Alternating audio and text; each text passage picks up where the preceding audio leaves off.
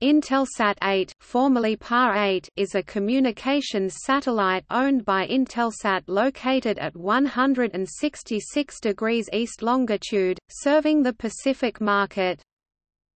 On 13 August 2012 it was replaced with Intelsat 19.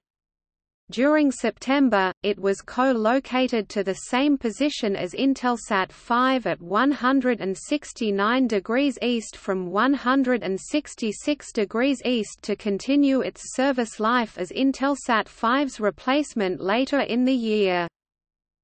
On 19 October 2012 at around 2300 UTC, Intelsat 8 took over broadcasting Intelsat 5's television channels which include Australia Network and regular feeds of Entertainment Tonight and The Wall Street Journal report available via a 2-metre dish at 4.1 GHz horizontal 26.